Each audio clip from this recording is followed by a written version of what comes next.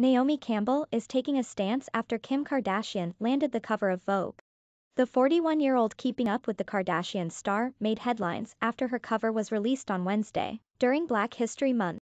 While Kanye West may have been singing his estranged wife's praises over the spread that featured their children, her cover caught major backlash.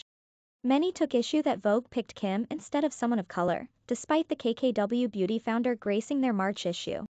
In February, Vogue US failed to pick a black icon as their featured star. Instead, their February spread went to Korean Squid Games actress HoYeon Jung. The reality star turned billionaire mogul and her famous family are notorious for appropriating and copying black culture. After several people slammed the fashion Bible over its decision, Naomi jumped on board.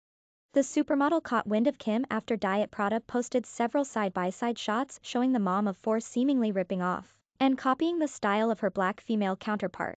One photo showed Naomi on the cover of Vogue wearing a structured all-white dress, the same look the magazine put Kim in. Another picture showed the runway legend serving looks in a sheer, soaking wet dress. Diet Prada made sure to include a snap of Kim sporting the exact same wardrobe piece, concept, and pose. The fashion account then posted four photos of Kanye's ex in replicas of some of Naomi's most iconic wardrobe looks. Diet Prada didn't stop there, they also compared Kim's copycat style to Beyonce and Nina Simone, as well as including a compilation clip of Naomi telling a crying Kim, don't compare yourself to me. Kim and Vogue said Black History Month, the caption on their post read, to which Naomi gave a double tap.